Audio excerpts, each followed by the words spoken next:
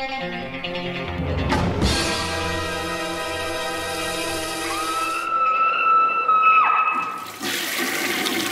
guys, what's up? It's been one year of these weekly videos. First and foremost, I want to tell you guys how um, how much I appreciate you guys watching, commenting, uh, doing all the things I ask you guys to do, interacting with me, giving me movie suggestions, doing the contest. I really appreciate it. Sharing the videos, giving me likes, whatever you guys do, I really appreciate it. Even if you give me a dislike, at least you, you gave me a view, right? I'm just kidding. But just want to say thank you guys very much for everything. I met some good people doing this, and I will continue to do it. Uh, this one is a little special. Screaming Toilet's going to put on a contest that ends May 31st. It'll probably be being shared everywhere, but this is actually a really cool contest this time. Uh, I wish I could enter it. But uh, what you will get is the first nine releases of the MVD Rewind collection. Uh, this is not open to international people. Sorry, sorry guys. Uh, so it's only uh, United States uh, entries will be included. Uh, what you have to do is follow the link below in the description box. It's a contest uh, link. You'll see it. It'll be the first one up there. You click on it. It'll take you to this page. You put your email address in there, and that's all you have to do. And I will announce. I will announce the winner, or the winner will be announced May 31st or shortly thereafter. the last day to enter is May 31st. You also have to go to Facebook and like the MVD Rewind page page. Uh, the titles include such great ones as Attack of the Killer Tomatoes, DOA, Lionheart with Van Damme, which awesome movie. Um, you also have Return to Swamp Thing, which is, uh, from what I understand, a really fun movie. I've never had a chance to see it, or it's been so long I don't remember it. So you get nine titles. Uh, they're not all released yet, but they will be by the time this ends. So uh, get your entries in as soon as possible. And uh, thank you very much for entering. Uh, you, you when you put your email address, you will receive some emails like just like advertising for movies and stuff that you'd probably be interested in anyways. Uh, on to the second part. Uh, the titles, the picture will be right here. You'll see it right here. Uh, so if you want to see what titles there are, and all the information will be below. So just follow the links. Um, also, uh, I did a, a, little poll online to kind of do something special for the next year going into it, and uh, it was I was gonna open possibly do three new segments or one of each or one of these segments. Uh, i did um, the vhs i would take a vhs off my rack or maybe possibly a bootleg or something something that's not on dvd or blu-ray stateside and review it each week one title a week. Uh, like a vhs or something. Like i'd grab like uh, a random movie off the shelf like nightlife 89 scott grimes or metal beast even though it has a uh, german dvd or something like that. But i'd grab something like that like that and review it. Uh, the second one was i would take a year and uh, watch one horror movie from that year every week until I got to 52, and then at the end I would give a top 10. Uh, and the last was to do random theme weeks occasionally, like a women in prison week, a black exploitation week, uh, a zombie week, and just have all the videos pertain to that certain uh, theme. Uh, I did the uh, online, like I said, I took the poll. It came uh, 10 and 7 and 7. So the winner is the VHS. So it looks like I'll be watching some crummy quality movies that have not been released on DVD or Blu-ray. I do have a VHS rack over there, so hopefully that'll be cool. And I have a slew of shot on video movies that I don't think have been released on DVD or, or Blu-ray. I guess why would they be, right? So uh, that uh, we did that as well. So uh, that's the two things I wanted to uh, start this off with. I guess I'll hop into the reviews. And uh, this one's a little different. I got a lot of bundle packs, like a lot of stuff with multiple titles in it. So it's going to be a little longer. So uh, bear with me. Also, I could not print off uh, the the names because I'm, I'm out of ink. I forgot to buy some, so I wrote all these out. So I not be looking at a piece of paper to read your questions off. But yeah, the first one I'll be reviewing is uh, Suzuki. Um, the early years, Volume 2, Border Crossings, the crime and action movies. Uh, I've not seen the first uh, box set that Arrow put out. I do have it. I have not had a chance to watch it. But this is five titles in here. Uh, please forgive me for reading off the titles. Uh, the Sleeping Beast Within, Smashing the O-Line, Eight Hours of Terror, The Man with the Shotgun, and Tokyo Nights. Uh, yeah, this uh, he's he's he's kind of like a working director at the time in the '60s, and uh, he made B pictures. And uh, you know, I'd not really seen many B pictures from Japan except you know more so like the Godzilla stuff. So these were kind of interesting to me. Three of them are in black and white, and two are in color. Um, the first one I watched was The Sleeping Beast, and this involves a, a reporter who um, he's digging into this story, and uh, his girlfriend's uh, dad kind of disappears after he loses his job, and he starts to dig into his backstory, and he finds out uh, that this guy is involved in something that he shouldn't be involved with. It's kind of a morality tale. All these seem to be morality tales, and most of the time, the heroes of the story always do the right thing or come out on top, or you know, eh, or come around eventually and do the right thing, and that that's what happens in this one. But uh, it's kind of an interesting. It's it's probably my least favorite of the bunch. It, it's interesting in the fact that um, it has this. Uh, uh, it, it kind of paints uh, the society in Japan a little negative at points because it it says this guy worked for this company for so long and they just basically write him off and don't give him any money and leave him no choice but to turn to a life of crime in a way. Uh, and it's called border crossings because that term was used kind of like how Japan wanted to appeal to a broader audience uh, and make it more exciting because at the time in the 60s it was very hard to get a passport in Japan according to the special features. It was very hard to leave Japan. So these border crossings kind of make this uh, international thing they make it um, like an international kind of deal. So uh, they'll have like all these characters from America in there. They'll have drug trades, which is very rare in Japan at the time. So that's all interesting. The movie is short and uh, it's decent, and uh, the ending is pretty dark actually. Uh, the second one here uh, that I'll be talking about is Smashing the O Line. I'm going to this one. It's also black and white because it also involves reporters and it shares uh, one of the a couple of the same actors as well. this time, the lead from the first movie, he's kind of a villain in this one, a villain reporter, and he's going neck and neck with this other reporter. They get involved trying to break the smashing the O line, the heroin trade deal, and they end up on a ship and they kind of are at each other's throats in a little way and they have to work together. Uh, this one I think is a little bit better. It's a little bit more entertaining, a little bit more interesting, a little bit more fast paced, and uh, has a little bit more characters, a little bit more going on. It feels a little bigger. Um, I'm not going to spend too much time on those two because those ones don't interest me as much. The next one is Eight Hours of Terror.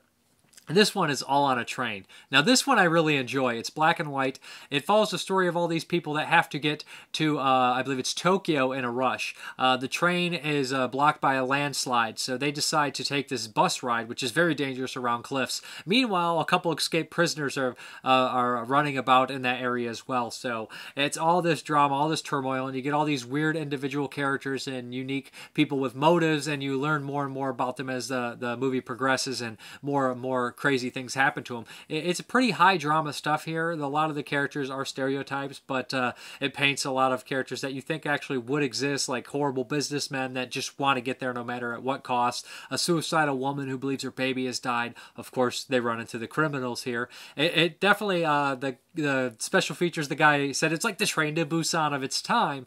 Uh, you know, it kind of reminds me of something like Hitchhike too, with David Hess, where these guys get on the shit uh, on the train and kind of make them do what they want. But I do like it because because and you know when these people are you know it's not like the worst of humanity shown here you know they do come around and they work together to solve problems and i kind of enjoyed that uh, again it has some dark things going on and people do die and uh, i think that it tackles some cool issues and uh, it, it, it, you know crosses the line a little bit and shows some things and uh, you know is a little bit progressive even if it is a b movie in short all these movies are short which i really appreciated because modern japanese films seem to be very long a lot of times and especially in their horror movies i, I always ask myself, why hasn't this ended? This should have ended three times. When you take something like Evil Dead Trap, that movie could have ended five or six times, and it keeps going.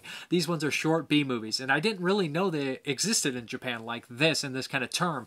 And these movies are kind of hard to see. Not many people have seen them.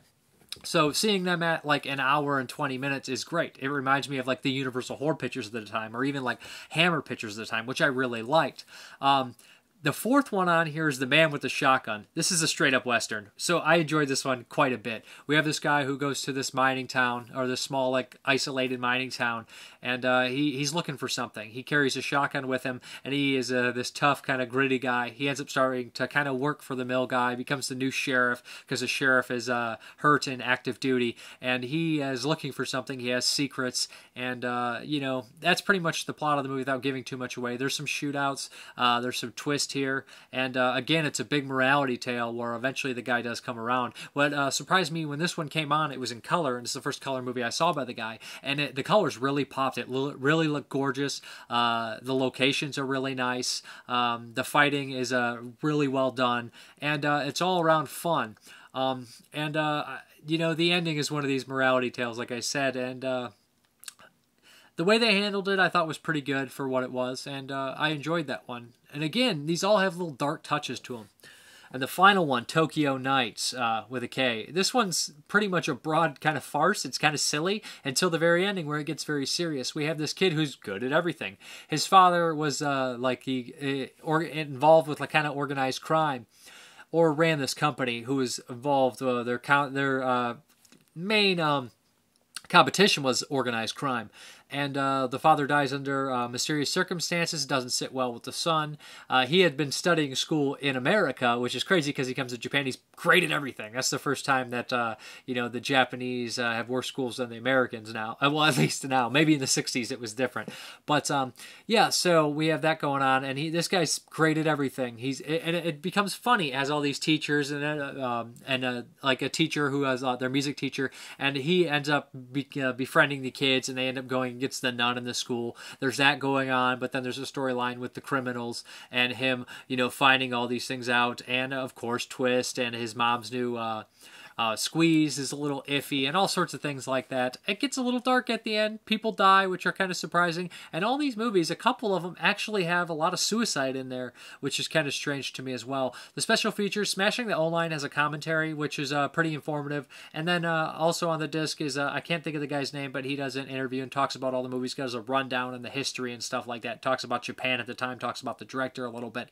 And he gives a brief synopsis, synopsis, whatever it is, synopsis uh, of the movie movies and whatnot, even if after you watched them. So he, you know, he kind of refreshes you on the movies and talks about how they, uh, you know, are important to the time and uh, what they kind of reflect in Japan at the time. It's a nice release. They looked good. Uh, they sounded fairly good, and they're kind of interesting movies. I, I would recommend The Man with the Shotgun the most, and probably Eight Hours of Terror. I think those the most solid of the the bunch.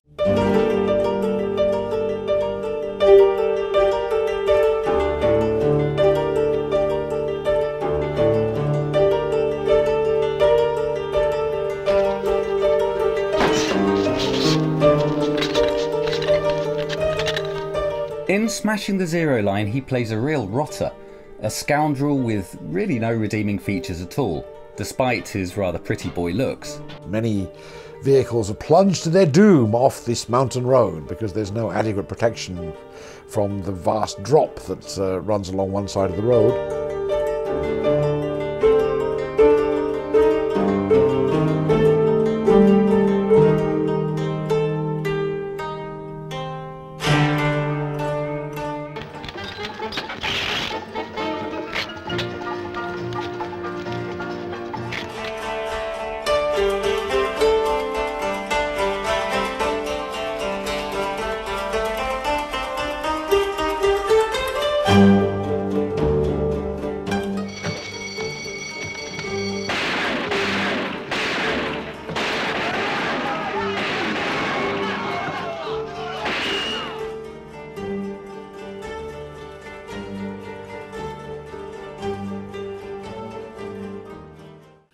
Okay, guys, Mill Creek sent this one over to review.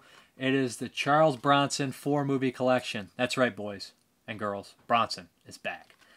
Love, love me some Charles Bronson. This has four movies on there: The Valachi Papers, uh, The Stone Killer, Hard Times, and Breakout. I will not be covering uh, Hard Times or Stone Killer in depth. Uh, I, I, reviewed Stone Killer in episode 19 if you want to check that out. And I reviewed Hard Times in episode 24. Both, uh, Hard Times is an excellent Walter Hill movie. Uh, the picture quality on this one isn't as good as the Eureka disc, uh, but it looks fairly solid. And uh, the whole thing, the whole package is ten dollars. So if you like Hard Times, it's well worth picking up just for that. Uh, the stateside release from Twilight Time is quite expensive.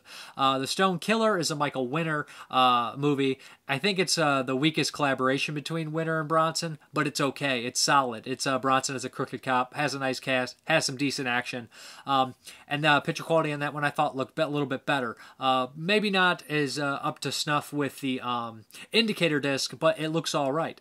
As far as Breakout is concerned, I know there's a German Blu-ray, but this is the first time it's ever been released in the States. And Valachi Papers, I believe, had a Twilight Time release, which is very expensive as well. So uh, let me hop into Breakout, which is a 75 movie with Charles Bronson, Robert Duvall, uh, who else is in this? Randy Quaid, which is great to see. And I believe there's a couple other people that pop in here that I, I think I can't register off the top of my head. But what we have here is... Um, Charles Bronson is hired by Jill Ireland, his real life wife, to uh, break out her husband, Robert Duvall, who's in a Mexican prison. Uh, he was put there by his grandfather, John Huston. So Bronson has these crazy plans to break him out using a plane, and uh, the whole movie is basically Bronson trying to come up with ideas how to get Robert Duvall out of this Mexican prison. Uh, it's fairly uh, fun movie. It's got really good characters. Bronson's solid in it. I like this kind of character of Bronson in here. It's really cool to see Randy Quaid very young in here. And there's a couple moments of comedy where Randy Quaid tries to sneak in there dressed as a woman. But there's also some uh, decent action in here, car chases. And I believe it's Sheree North is also in this movie, and she's excellent in the movie. She plays a really, really kind of fun character. And there's a great gag of Bronson always trying to give away this check that's clearly going to bounce. And he's like, well, I got a $500 check right here. And he's just, he's kind of a con artist in it. And you don't really typically see Bronson in this kind of role. But, you know, this working kind of class guy uh, who's a little con artist.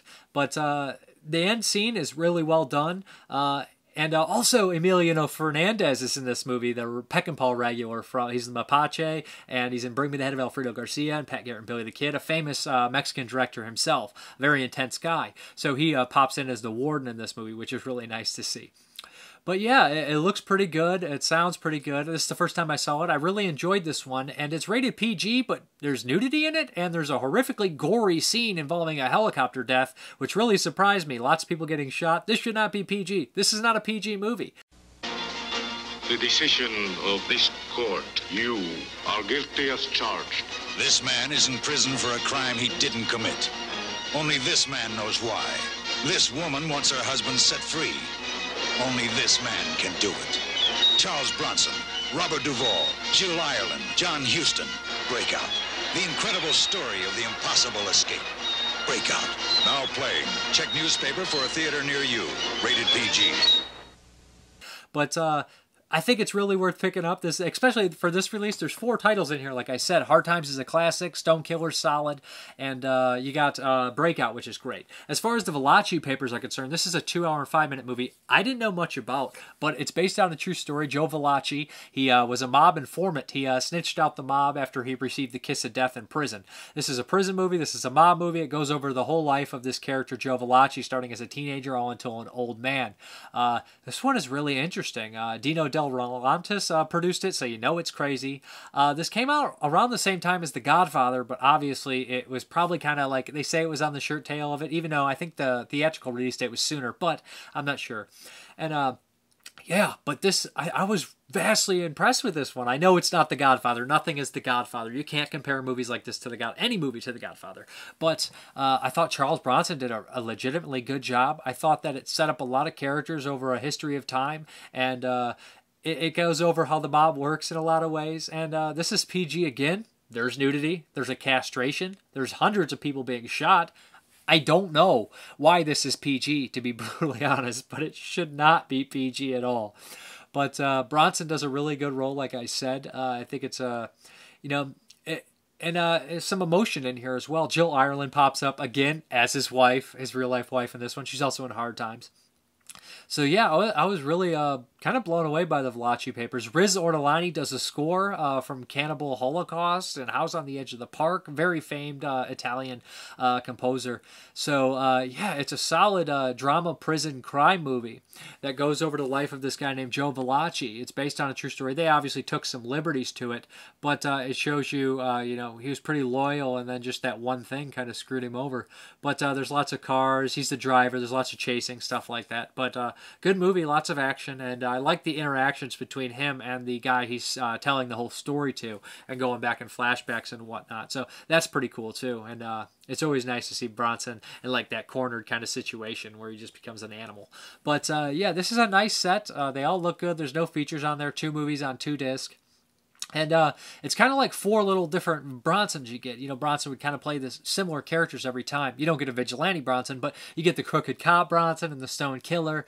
You get the kind of everyday like working man who's super uh, clever and stuff like uh, the breakout. You get the uh, mobster Bronson and Valachi papers, and then you get the fighter Bronson in Hard Times. So this is a nice Bronson set. I think it's a good uh, array of uh, movies that he did. So uh, I think it's well worth it, especially for ten dollars right now. Ten dollars. That's that's 250 a movie. Well worth it.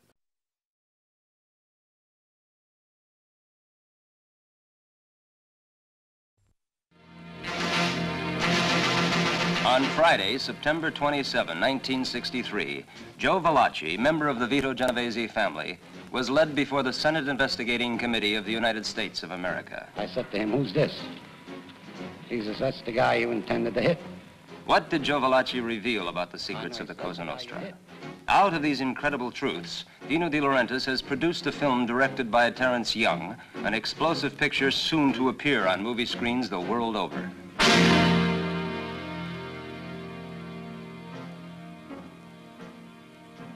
Listen carefully. A hundred thousand dollars for Joe I'll kill this skinny bastard, so help me God. Joe Masterio live. No peace. It isn't fiction. It's ruthless reality that still explodes in headlines.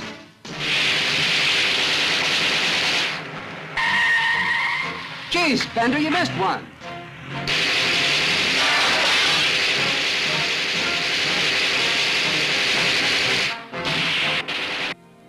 Così morirò. This is the way I will die. Se tradisco il segreto di Cosa Nostra. If I betray the secret of the Cosa Nostra.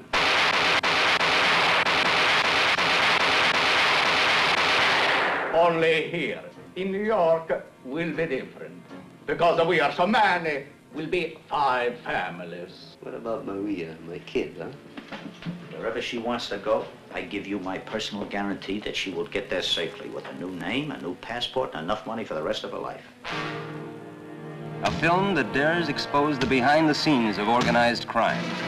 A terrifying indictment, a chilling accusation, a documented drama of real events. You die by the knife and the gun.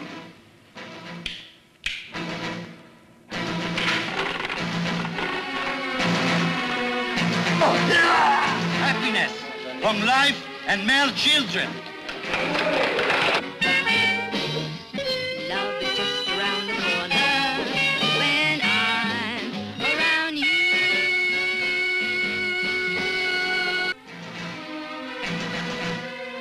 Crime is a question of criminals. It is not a matter of race, color, or religion, said Robert Kennedy when Attorney General of the United States.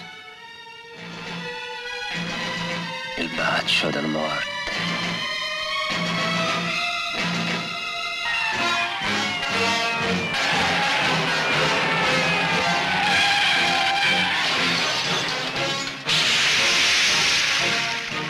And this is the family tree of the Cosa Nostra.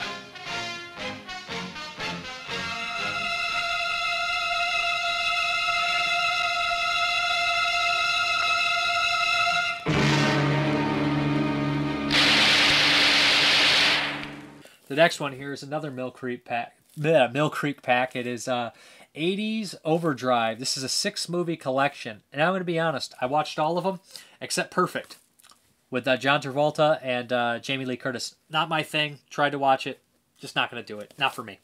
But we have The Legend of Billie Jean, Little Nikita, Hard Body, Spring Break, Spring Break, Perfect, and Private Resort. I'll start with The Legend of Billie Jean. It's an 80s kind of like cult classic. I'd never seen it. But uh, The Legend of Billie Jean. Yeah, uh, what's uh, the main actress's name in here? Uh, it's uh, Helen Slater, but also Christian Slater's in here. No relation. Keith Gordon's also in here, and uh, Peter Coyote from uh, Southern Comfort. but uh, yeah, I was really happy with this one. It's basically follows these kind of like Texas kind of. I, I don't want to be derogatory, but kind of like lower income, I guess you would say. You know, like uh, white trash in this kind of sense, or trailer park trash, and is what they would call them, or some of the more bad characters in the movie would call that, these people this. But Christian Slater and her play brother and sister, and um, they uh, beat up Christian Slater and ruin his bike. Uh, Billie Jean goes to the guy's father to get the money, and he tries to be a pervert. And uh, through a bunch of mishaps, they end up running. It's a road movie. They escape. They're accused of all these crimes, and she becomes this big media sensation. And uh, everybody wants to be Billie Jean, and she's evading the cops. And Peter Coyote's a sympathetic cop. Think Thelma and Louise style. You know how Harvey Keitel was that kind of sympathetic cop.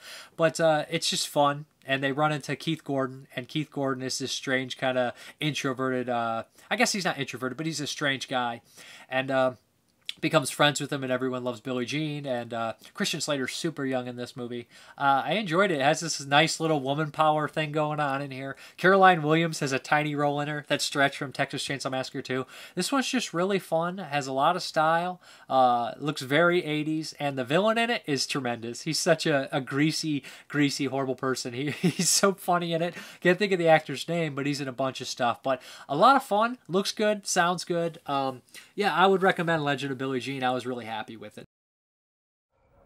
Being sulking will not get you that bike back. Spent all that money, and now here you are, broken-hearted. It wasn't his fault. Fault doesn't matter. It's what you end up with that matters. Remember what happened to your daddy? Oh, Mom, come on. Oh, you love to go fast, just like you. I'm relieved that darn bike is gone. Are you gonna eat those? Oh, it's him. Where's my pumps? What time you coming home? Late, I hope. You think this one will be different, Billie Jean?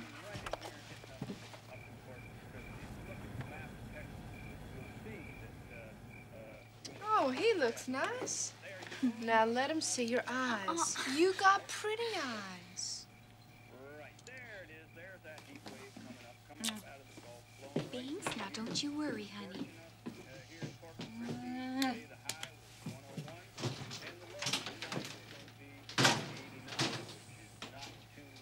He won't bring it back.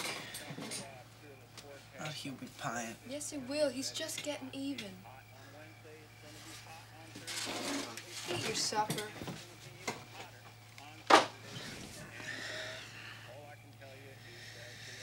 He better not hurt that bike. He better not even scratch it. What did I tell you?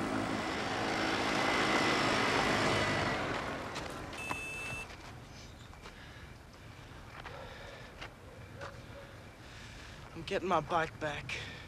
Hey, come back here. Banks! Little Nikita. This one's directed by Richard Benjamin, the actor, but it also has Richard Jenkins in it and Richard Lynch in it, Sidney Poitier. So uh, River Phoenix. It's got a nice little cast going on here, and it also has the villain from the last one plays a Russian in this one. Uh, the villain from Billie Jean plays a Russian in this one. So this guy's got a broad, uh, you know, uh, you know, broad uh, acting uh, palette. So uh, yeah, this one is uh, kind of like a you know uh, communist kind of spy uh, movie.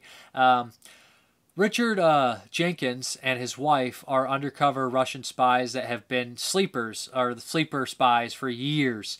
And uh, Richard Lynch is this crazy assassin who's picking off the sleepers to get money from the big uh, Russian, uh, you know, KBG guy. Sidney Poitier is an agent that wants Richard Lynch because he killed his partner. Sidney Poitier moves in close to River Phoenix's family. River Phoenix doesn't know his parents are these Russian sleepers, and so it gets complicated. Sidney Poitier starts to feel bad for the family, especially River Phoenix, but he really wants to catch Richard Lynch. While meanwhile, the big KBG guy is trying to catch Richard Lynch as well. So it's Richard Lynch killing people, them trying to catch Richard Lynch, and that's the plot of the movie. There's good amounts of suspense. There's a great moment in the theater. that uh, Richard Jenkins is always tremendous. The lady who plays his wife is tremendous, um, and uh, they're just completely different people at this point. It, it does kind of be sympathetic, I guess, towards people that don't, you know, that uh, escape Russia as spies and hadn't been spies in years.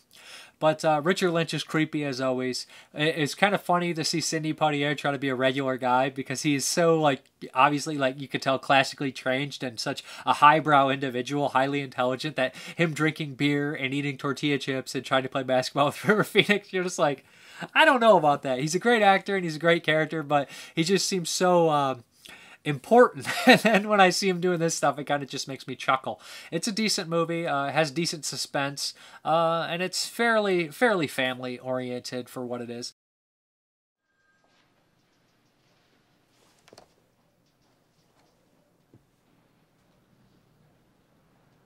What do you think? Sorry?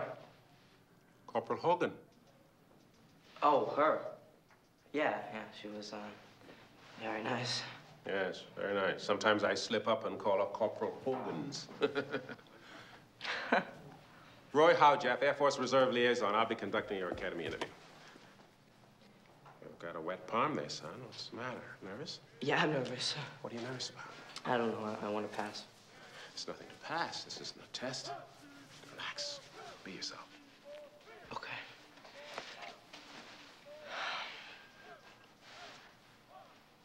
Are nervous, aren't you? Why? Because you, you told me to be myself. Whenever people tell me to be myself, I don't know what to do. How come? Because I don't know what myself is. Oh, the next one, Hard Bodies. I'd never seen Hard Bodies, believe it or not. But uh, yeah, it stars the guy from Killer Clowns from Outer Space in here. And it also has Courtney Gains in it. And you'll look really close, you'll see Kane Hodder as one of the bozos that keep crashing parties. So that's really nice to see that.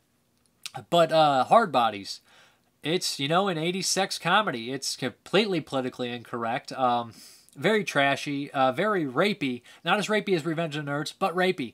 There's plenty of nudity, plenty of, plenty of stupid jokes. Um, and if you can leave your brain at the door and uh, know what you're getting yourself into, don't use this as a, a, guide to pick up chicks, guys. Anybody that ever did that's a moron. These are these are sex comedies. You should know better. Everybody should know these are just movies. But yeah, it's fun. It's silly, uh, and these basically the plot of this one is these three kind of rich guys that come from businesses want to rent out this uh, this flat in Florida and pick up and uh, as many girls as they can and sleep with them. They hire this guy who's basically the king of the beach to do it. Uh, yeah, and of course drama ensues. Uh, like I said, there's plenty of nudity in here, plenty of TNA, plenty of jokes. Uh, one of the characters that really stands out to me is uh, the Texan. Uh, he reminds me of like a, a, poor man's Warren Oates, and I really enjoy him. He actually is one of the only moral compasses in the movie, and he seems to do the right thing most of the time. There's a real creepy Italian guy in here who's just complete sleazeball, horrible guy. But uh, this one I had fun with. I thought it looked good and sounded fairly decent as well. Hard Bodies, uh, it's entertaining. It's it's not going to win any Academy Awards, and uh, if you like sex comedies, I would check this one out. I had a lot of fun with it. Columbia Pictures proudly presents a minor motion picture event. A film with absolutely no redeeming social value whatsoever. A film that has won not five, not three, but absolutely no Academy Award nominations. A film that luminaries like Bergman, Fellini, Spielberg, and Lucas had absolutely nothing to do with. A film that every critic in America has unanimously hailed as a motion picture. This is Hard Bodies, the film that will teach you important new words like hard bodies. Means perfect little foxes down on the beach. BBD. It's a bigger and better deal. And wuss. Yeah, she said he got a lot more class than an immature boy like you. Oh, man. That wuss. That wuss. It will answer important questions. Whatever became a romance? You want romance? Read a novel. You want me? I'm upstairs. Expand your language skills. My friend Rag here, he's multilingual. He's flipping you off in 48 languages. Explore the wonders of nature. Look at these hamstrings, this gluteus maximus. This is the body of the 80s. To travel where no man has gone before. Uh, Private Resort has Johnny Depp, and I can't think of the other actor right now off the top of my head. But it also uh, Johnny Depp and his friend are uh, at this private resort. This one's kind of silly, even goofier. Uh, very, very uh, zany kind of humor. Hector Elizondo in it as well, and he plays this guy who's supposed to steal this diamond. And of course, uh, Johnny Depp and his buddy get in the way and screw him over. This one's oversexed as well.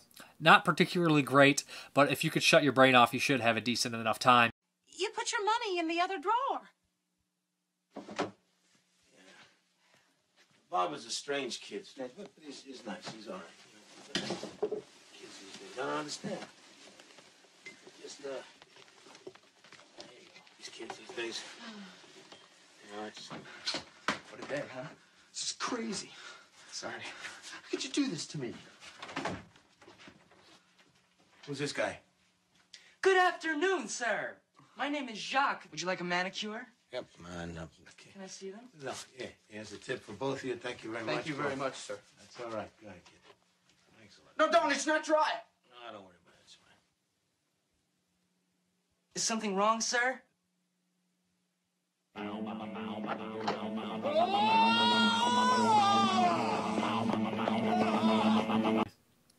The other one, uh, Spring Break, is a Sean Cunningham movie. Uh, this one's best thing about it is it has Richard Shull in it from Cockfighter, and uh, So that's that's my favorite part. He's great in it. He plays this sleazy guy who wants to get this hotel closed down, but this is the hotel that all the kids go to for spring break and have fun at. They don't want to close down. We have uh, this guy who wants to escape his, you know, kind of uh, the the iron grip of his senator or uh, polit- political father, and he runs a spring break with his friend. They meet these couple other guys, and uh, they have the time of their life. They all fall in love. They all, and the one falls in love. They all have parties it's uh, pretty standard. Uh, the picture quality looks a little bit more gritty than the other ones. I think that's just how the movie was shot, maybe a little more low budget, and it, it feels like a Sean Cunningham movie. If that makes sense to anybody, if anybody's ever seen New Kids or Friday the Thirteenth, it, it feel it looks like that kind of look. Uh, Harry Manfredini does the score, so you'll recognize the guy did the Friday Thirteenth scores doing the score in a sex comedy. This one is the weakest of the sex comedies. Probably it's uh, it, it just it feels a little bit more grimy, even if it is less uh, over sex. It just feels more a little bit more raw, I guess. Um, maybe it's not my least favorite. This and Private Resort are probably on the same level. Uh, if you like sex comedies, I'd check it out. Otherwise, I would probably pass on it. But I would say I would really recommend Legend of Billie Jean and Hard Bodies are, are my favorites. Little Nikita's a good movie as well. But it's a nice set. You can get it for $15 right now. But uh, that's the Mill Creek, uh, you know, 80s overdrive.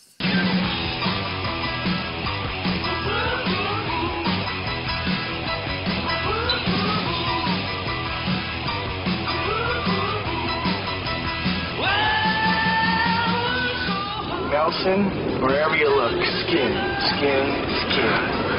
Uh, spring break in Fort Lauderdale. 250,000 kids here for the sole purpose of partying. Nelson Veldy and Adam Stern are about to get the break of their lives. Spring break. For some, it's the start of a whole new education.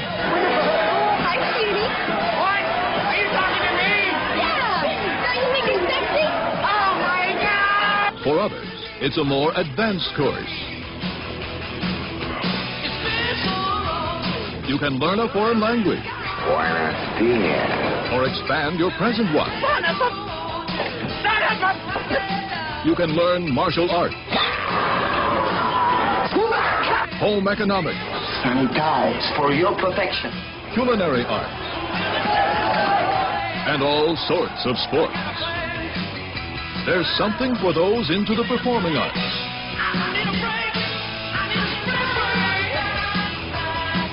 Okay, the next one I watched on Netflix. It's a Mickey Keating movie.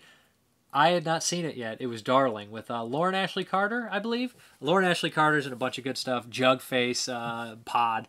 She's great. And uh, she's one of these actresses that has such a, a unique look, these big, expressive eyes. And uh, Darling, this is a uh, made in, I believe, 2015 or 14, but I had not seen it. It's a very short movie, an hour and 16 minutes, uh, black and white. Uh, psychological horror movie. It follows uh, Lauren Ashley Carter as she's supposed to be this housekeeper of this uh, big kind of a beautiful location that has a haunted history. And that's pretty much the gist of it. She immediately starts to hear things. She starts to see things. And right off the bat, you know, she has such an expressive face, and her eyes are big and cold and dead, and you just know something's wrong with her right off the bat something's wrong with her and as it progresses you learn it's broken up in chapters and she gets more and more strange and she has some haunted history haunted past and it seems like she can't keep her timeline straight in her head and uh, what this movie is very good at is showing scenes especially in the beginning uh, and shooting them the right way and using sound design and uh, you know all sound design all lighting all the camera work and stuff like that and of course her acting skills to make this a horror movie for the first 20 25 minutes just by doing things like that you know it makes it a horror movie. And eventually it becomes a pretty horrific horror movie. Uh, there's some gore in here which kind of surprised me. And uh, it, it's just a, a crazy movie. Uh, a solid well-made movie about uh, you know psychological psychologically damaged person who may be going crazy due to her environment or her uh, brain or both. Um, so yeah that's what's going on in this one. Um, if it weren't for Lauren Ashley Carter, this movie wouldn't be particularly good. It, it, I mean, unless it had another good actress as equally good as her, but she's tremendous in this movie, and she's one that I always keep my eye out for. When I see her in a movie, I'm like, oh, I'm going to check this out because I've always been vastly impressed with her performance, and this one I was vastly impressed with her performance. Uh, it's a it's a shame there's no Blu-ray in the states. I've been waiting for to pick it up to get a Blu-ray here, but there isn't one because it's a gorgeous looking movie. There's lots of shots of the city. It's black and white, and uh, there's lots of crazy moments in the movie. I, I would recommend checking it out, especially if at Netflix. It's kind of a quickie review because I don't have any features to talk about, and uh, it's kind of just a straightforward thing. It's something that you would feel better about experiencing yourself. The more I talk about it, the less you want to see it. Is it true what they say about this place? Oh, old ghost stories. But the caretaker threw herself off the upstairs balcony.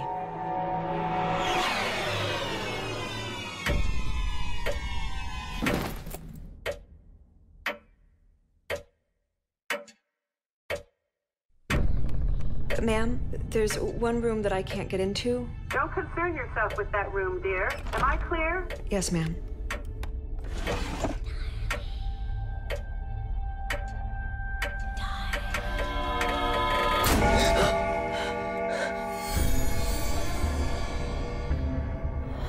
Waiting for anybody? I was waiting for you.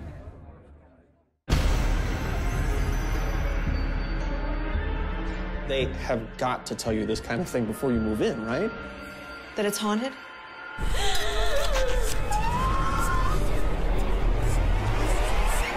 It's true.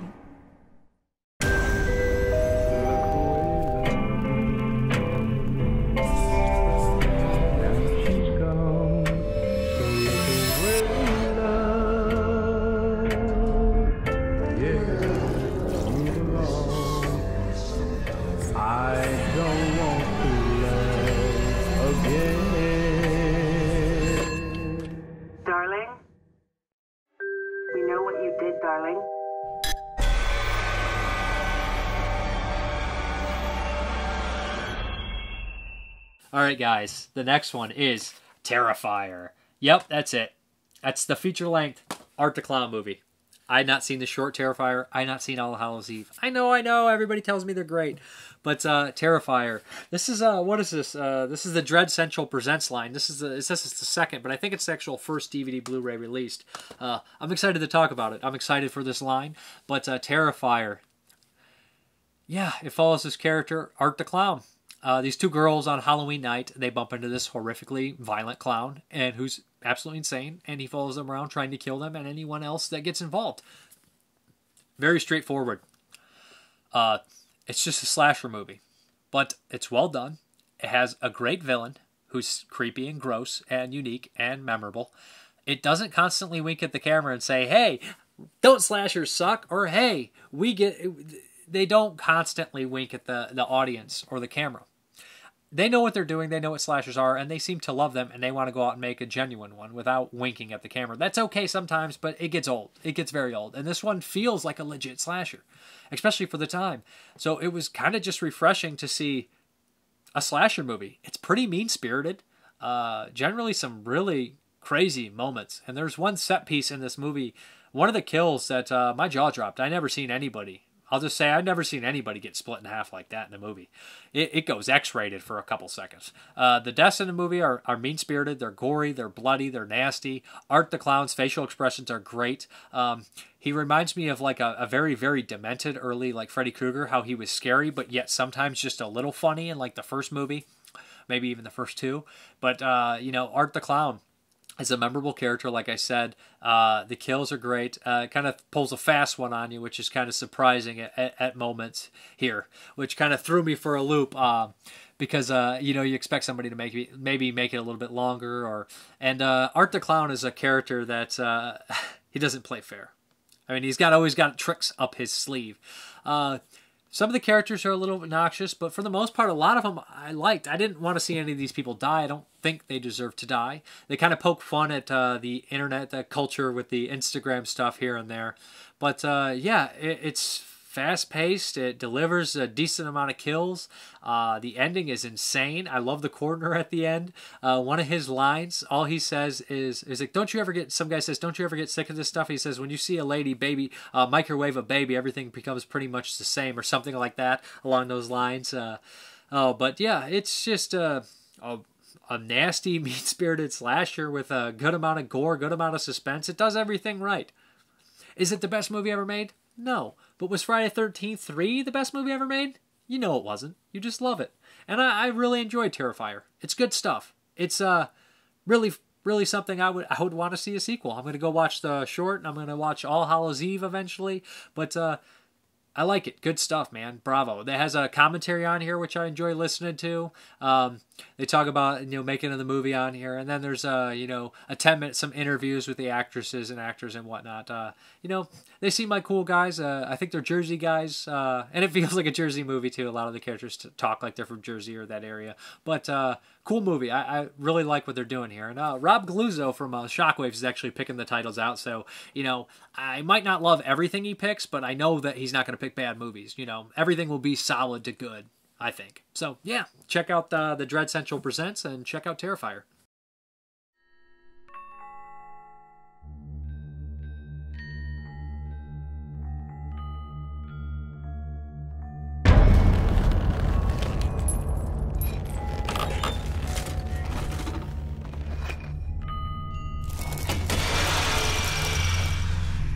What's wrong? I'm fine. Why? Keep looking over your shoulder.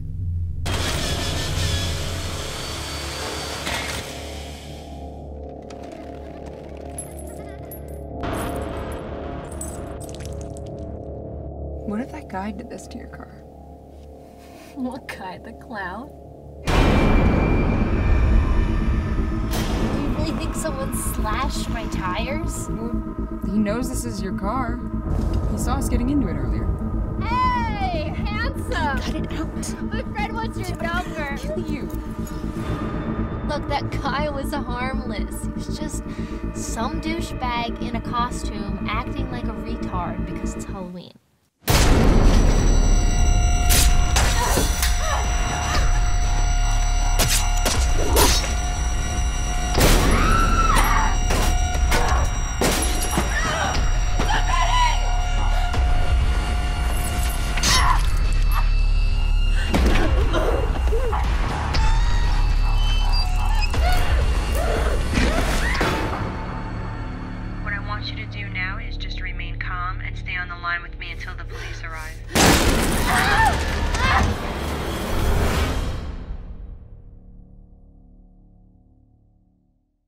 The next one here is.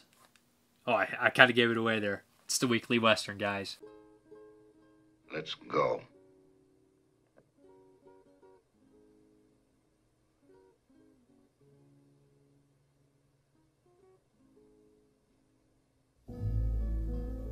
Why not? Fill your hand, you son of a bitch! Say when.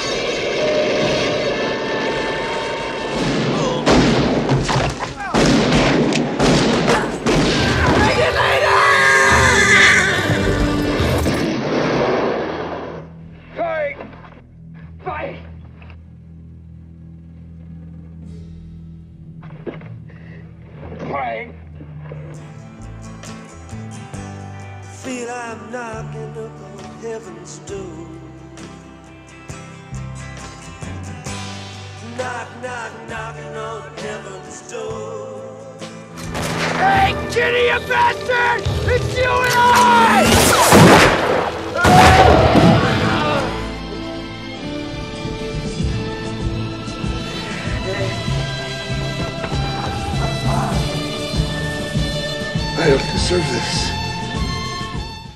The Revengers.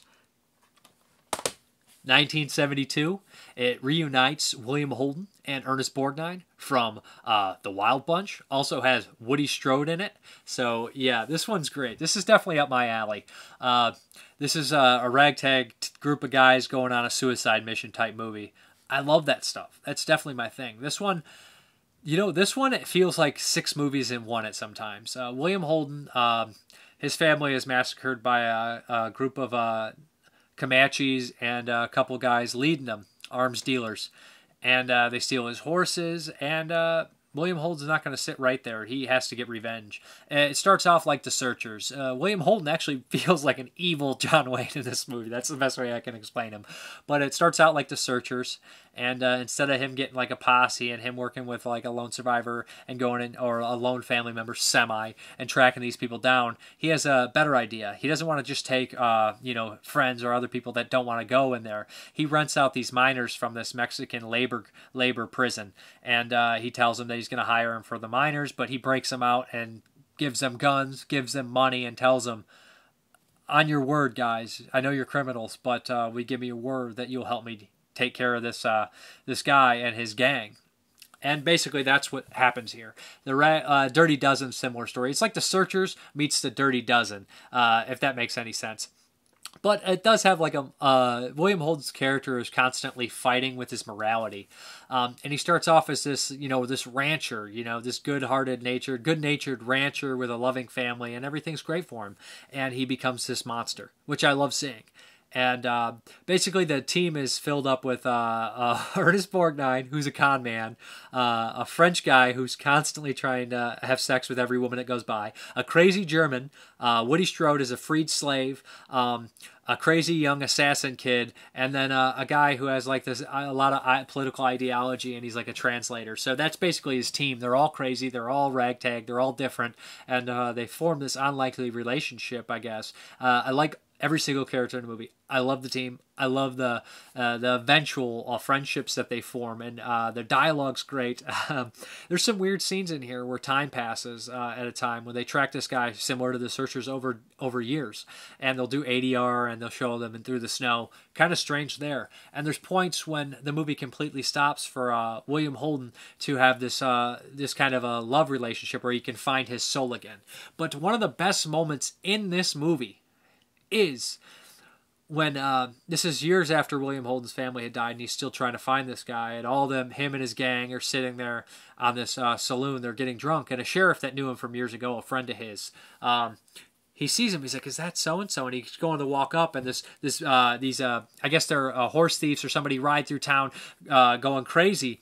And Holden and his gang just waste him like that at a snap violently, and they enjoy it. And they're all laughing, drinking beer, and everything like that. And the sheriff comes up to him and says, your family wouldn't even recognize you. Your son would run away from you if he saw you like this. And Holden just kind of like over his face, he realizes, you know, he's pretty much lost his soul, lost himself.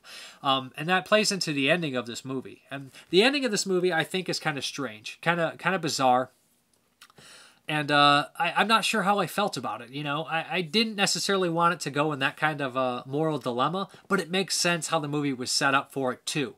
I, I, I think I would like this better on a, a, a, repeated viewing. I did really like it though. I think that there's tremendous performances in this movie. Um, I think that they're some of the best I've seen, to be honest. Uh, really great stuff. Uh, the disc doesn't have any features on it, but uh, Borgnine is hilarious is in this one. Holden does a, a tremendous performance. Every single actor and character in this movie is great. They're top notch. Really good stuff. I would really recommend checking it out. Again, it's PG, 1972, same year as Valachi Papers.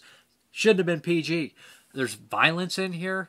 Uh, lots of people getting shot. I don't know why I become the ratings board, but I'm just watching this stuff and seeing movies that I saw get R that are not as hard as this.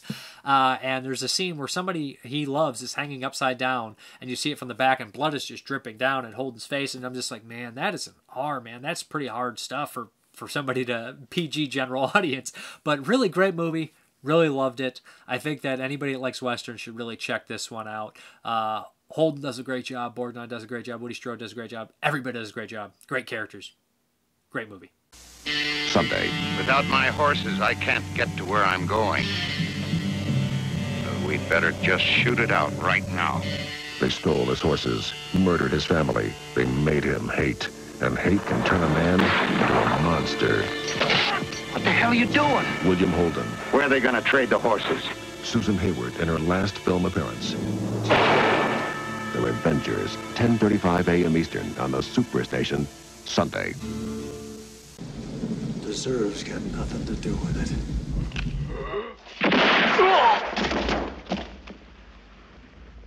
When you have to shoot, shoot, don't talk.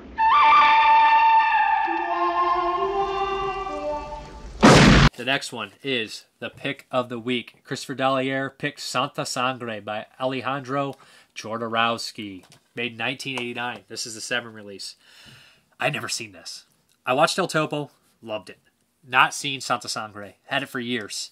Uh, translates to Holy Blood, I believe. This is a wild movie. I don't. Um, the guy from Occult Epics, I reviewed Moonchild uh, last week or talked about it, and he said you don't review Moonchild, you experience it. And I think he's right. You know, it's hard. Sometimes you're lost for words. But Santa Sangre is an experience. It definitely is an experience. It is uh, all all Jodorowsky's movies feel that way from what I've seen. The couple I have seen, they're, they're experiences. There's nothing else like them. Jodorowsky puts a lot into his movies. Um, this involves a young boy who uh, he, he works at the circus. His his dad works at the circus. His mom works at the circus. His mom is almost like this. Also, she's like this religious leader. She worships this saint who had both of her arms cut off. She's not a real saint, and that plays into the opening of the movie, which is insane which involves this uh, religious figure coming down and seeing what they have in their church and saying this is this is blasphemy and that's a brilliant scene but the, the story here it, it, jumps around in time. We have this young man who's in an insane asylum, and uh, I don't want to spoil necessarily what happens, but some tragedy happens to him at a very young age, and he's constantly haunted by it. And uh, he he goes with his mother, and his mother manipulates him to do horrible things.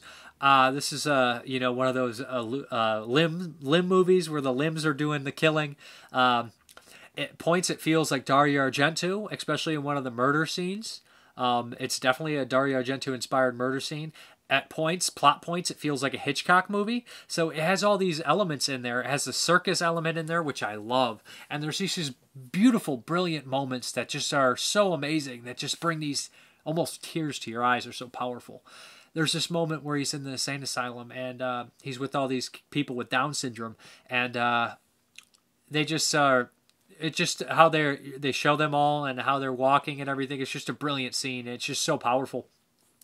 There's a scene with this elephant uh, where it's dying, and uh, it later goes back to that elephant when he, he like has a flash of him uh, laying on the ground, like on his hands and knees, like the elephant was, with blood coming out of his nose. Like, and earlier it was that was coming out of the elephant's trunk. It's like these reoccurring things popping up. And uh, he was in love with this mime, this girl who who is deaf. She was a mute, and she she painted her face like a mime. I don't know she's necessarily a mime. Well, I guess she was, but uh, and, and progresses, and, and later on he paints the faces of these dead bodies white, just like the mime. Mime. So there's lots of things going in here into this movie. He's a lot like his father in ways, and uh, it's just a, he's a bizarre character. Truly great performance, brave performance. Everybody in this movie does an amazing performance. There's horrific moments of violence that is just appalling at times. Um, it's beautiful looking. It has everything going for it. It's almost perfect to be honest. And I think if I watched it again, I think I would come in at a almost perfect rating on it. But uh, just really, really enjoyed the movie. Uh, lots of symbolism going on.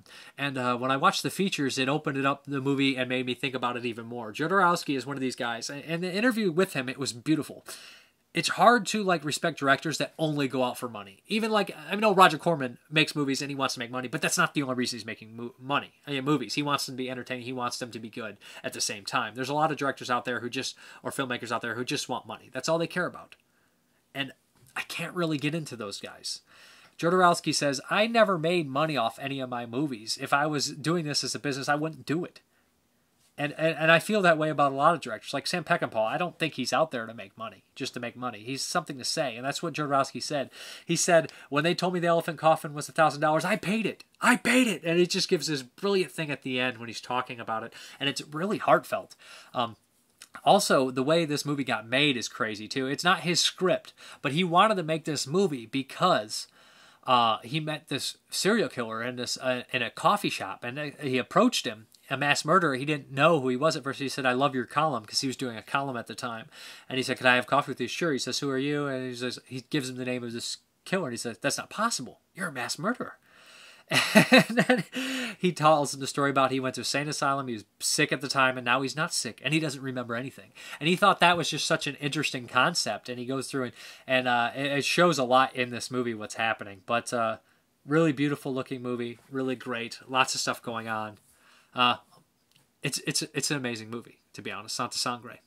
Uh, thanks, Christopher Dallaire, for uh, picking it for me to review. I, I wanted to watch it for years, but you just finally gave me that final push.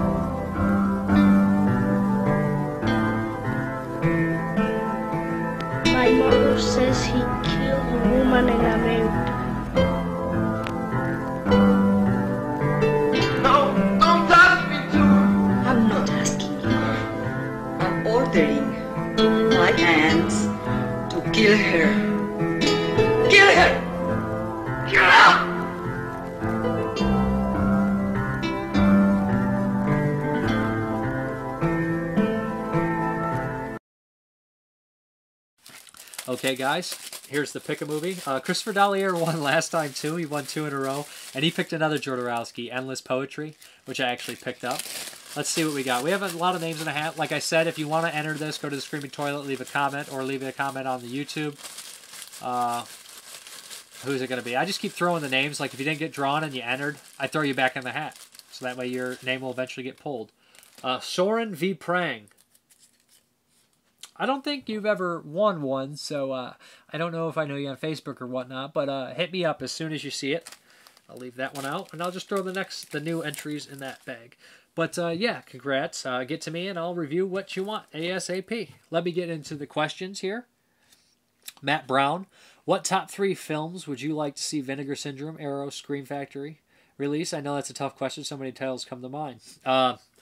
Oh boy, I'd like to see Vinegar Syndrome tackle something like Nightlife, like I mentioned. They work best, or On Mass Part Twenty Five, The Brain. They would do great with stuff like that, I think, because they give respect to everything. Arrow, I th- I think would be great place for Dawn of the Dead and Martin, and uh, you know Dead Alive, like you mentioned. I believe you did Bad Taste, Meet the Feebles. I'd love to see him do that stuff. And Scream Factory, Scream Factory. You know, uh, I always want to see it movie Blood Games, but I never got a chance. I think Scream, they're really tight with MGM or close to, so that would be nice to see that. But those are some of the titles I'd really like to see come out. A Trick or Treat too. I think Scream would do a good on Trick or Treat. That seems like one they would release. John Wilhelm, if you were to act in a buddy cop movie with an animal for a partner, what animal would it be? I think I would want a spider monkey in my movie. None of that orangutan business. Uh, you know what I would pick? I would honestly pick a rhino. A rhino would mess some stuff up, but I wouldn't want to act next to a rhino because it's probably very dangerous. But a rhinoceros it is. Nick, can a woman play a central part in a western? Uh, always like uh, always like Quick and the Dead. I don't know always, but yeah, I mean anybody can play anything. You don't always need a woman or a man in a movie to make a movie, but eh, yeah, I think so. I love the Quick and the Dead. If you had the money, would you direct a western and would you who would you cast? I would cast uh, Ooh, that's a tough one. There's a lot of my favorite actors are pretty much dead, so I'd have to sit down and look at the big book of character actors. I'd probably cast mostly character actors, to be honest. Um, what we got? Favorite James, James Duval movie? Um, my favorite James Duval movie is going to be Nowhere or Sushi Girl. James Grimmer, what do you look for when supporting movies made by local filmmakers? Ooh, um, that's a tough one. Uh, are their movies good? And do they care? That's about it. Uh, let's hop into the um, update. All right, guys, we're gonna hop into the update. What we got here? We got uh, Endless Poetry by Alejandro Jodorowsky. This was the movie that was picked to me to review next week. So, yep. Don't know much about it, but uh, it's got to be good, from what I would understand. Not disappointed me yet. You got one from uh, Code Red, Dune Warriors. With uh, this is by uh, the guy who did Stryker and uh, Silk, which I don't have, but a bunch of other ones too. This has uh, David Carradine in it. I guess this is an extended version of it, but uh, yeah, post-apocalyptic movie. Looks fun. Then we have an import here. I believe this is from Germany, and I believe it is English friendly.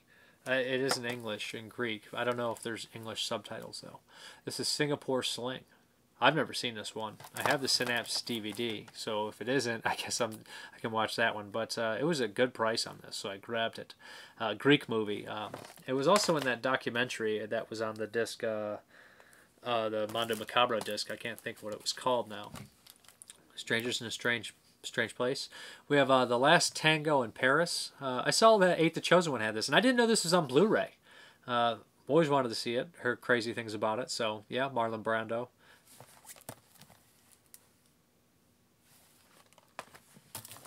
We have the Violent Professionals. This is another code red one. Uh, Italian, what is that? Polizio Tensa? Otesia? Let me mis butcher that word for you guys. Yeah, but Italian crime film. So, yep, not seen that one. Maybe I have. Who did that one? Oh, it's directed by Sergio Martino, so that's cool. We have some DVDs here. A little wide for you. We have Cannonball from Blue Underground. David Carradine again. This one's already used copy. So, not very expensive. So I grabbed it. I think it was like five bucks shipped or something like that. Some some cheap thing. It didn't cost me much. I wanted to check it out. Then we have uh, Sergiozo Diabata. I'm not doing it, guys. I'm not going to embarrass myself that bad. But this is uh, from Adrian Garcia Bogliano, who did Late Phases and a bunch of other stuff. Uh, yeah, uh, Cold Sweat. I uh, heard about this one of the 22 shots of moods and horror. I would have probably seen it if it was a Blu-ray, but I, I, I don't try to buy as many DVDs because I don't want to double dip. But uh, they had a lot of good things to say about this, and it was it made the top 10 of that year for them. So yeah, I grabbed it. Then we have last, uh, but not least, the pre-apocalyptic collection, Probability Zero and Sullivan's Marauders. Uh, I guess that uh, Dario Argento wrote on both these movies. What is that? Probability Zero is Henry Silva in it, and Sullivan's Marauders has Lee Van Cleef in it. Yeah, so that's pretty cool. Got this from the Code, Code Red cartel, although it is on uh, Hamilton Books fairly cheaper. I just made a mistake. But uh, I appreciate you guys uh, watching, and back to the video. Thank you guys very much for watching, and as always, you guys have a good one.